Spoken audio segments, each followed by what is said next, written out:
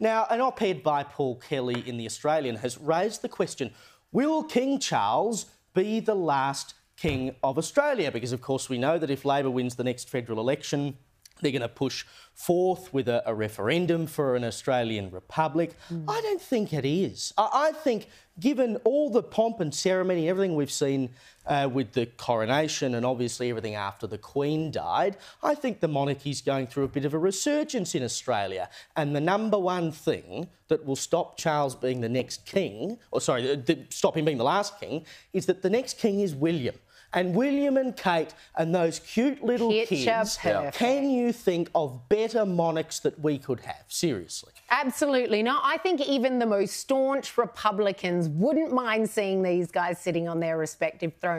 It is picture perfect. It's what every country is proud of in any of their monarchs. I, I can't wait to see it. Prince Charles, there was a poll done just the other week, and only 52% of Australians have a positive view of Prince Charles, but King Charles, King, King Charles, Charles, I apologise, but 73% have a positive view of William, and 76% of Kate. So if, if King Charles is smart, he will have uh, William and Kate beside him and Camilla at every opportunity, and there'll be a 20 I, I think if he was handover. truly smart, he would have abdicated straight up because he is a hard sell. He is a hard sell. I mean, we're still trying to galvanise that monarchist backbone of Australians, but he is a hard sell.